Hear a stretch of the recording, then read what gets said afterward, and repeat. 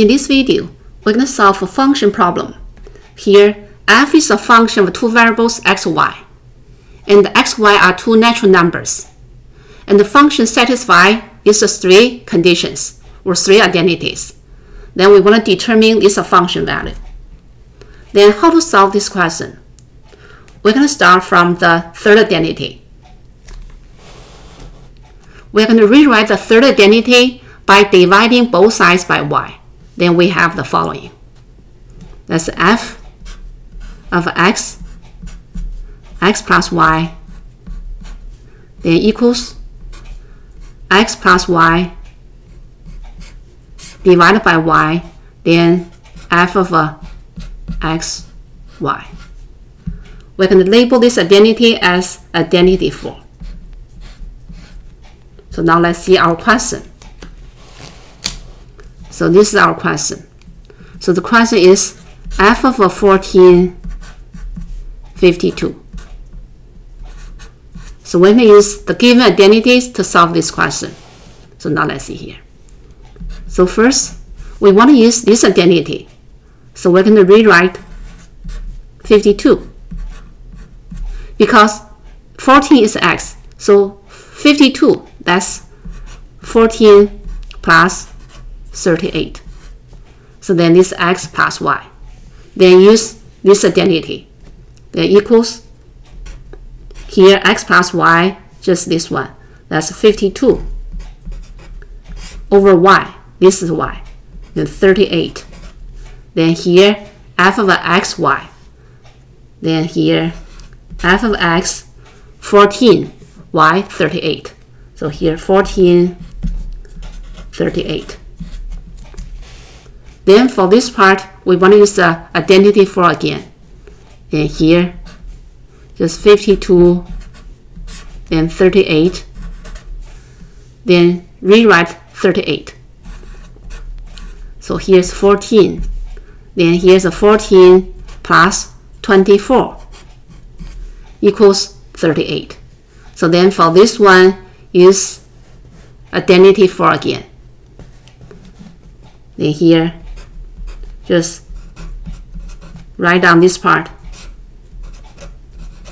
Then here just x plus y, that's 38.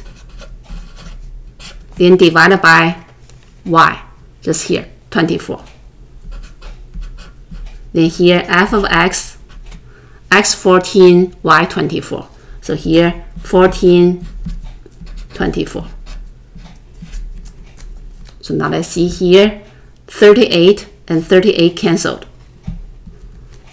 So then here, this one just 52, 24. Then for 24, we can write as 14 plus 10. Then for this one, we can use uh, identity 4 again. Here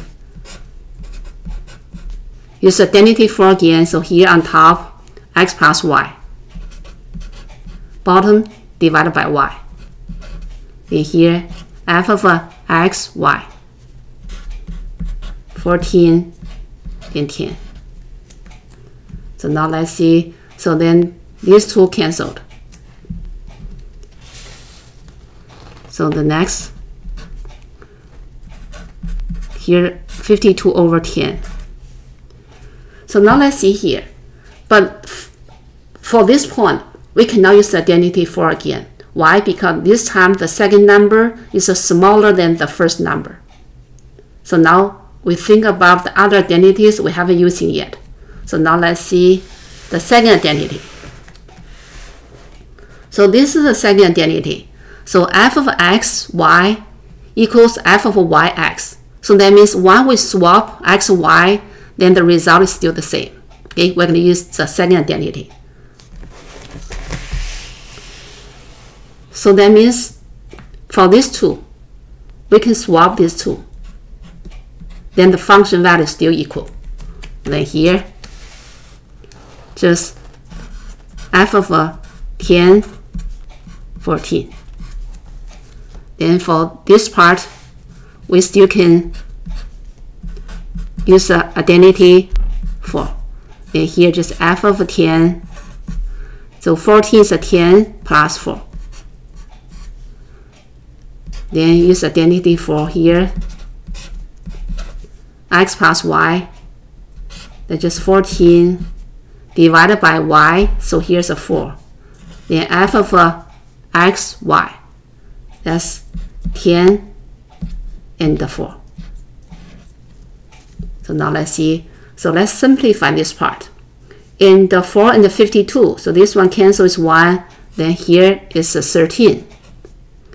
Then 10 and the 14, they have common factor 2. So cancel out 2, so here's a 5, then this one's a 7. Then simplify this part. And now let's look at here. So look at here, so right now the second number is less than the first again. So then use identity 2 we can swap these two. So now let's see the next step. Then here, 13 times 7, that's 91. Then bottom 5. Then here, swap these two. Then here, f of 4, 10. So then for this part, we can rewrite 10 as 4 plus 6. Then use identity 4. Then here, top, just 10 divided by 6. Here is f of uh, 4, 6. So now let's see these two canceled. So this is a 1. So here's 2. So then this one is a 3 and the 2 cancel. 6 and the 2, they have common factor 2, then this one is 1. So they're here, just 91 over 3. Then for this part, 6, that's a 4 plus 2. Then use identity 4 again. So on top, that's a 6 divided by 2, then f of uh, x, y, then 4, 2. Okay, then simplify here. So bottom is 6, top is 6, cancel out. So then just 80, 91. So then swap these two. Then here, that's 91. Then here, f of uh, 2, 4. Then the second number bigger than the first. Then we can write as here 2 plus 2. Then use identity 4. So on top, so here's a 4, the bottom divided by 2. Then here f of x, y. Then just 2 and 2. So now let's see, simplify this one here. So this one here's a 2. So then 2 times 91. Then how about this one? So now let's see, we haven't used the first identity yet. Okay, so then what's the first identity? The first identity is when x, y are equal, then the function value just equals x. So that's the first identity. So now let's see, use the first identity. So let's simplify here. So this one is a 182. Now let's see this part is this identity, then just equals 2. Then the answer just uh, 364. So 364 is the answer for this question.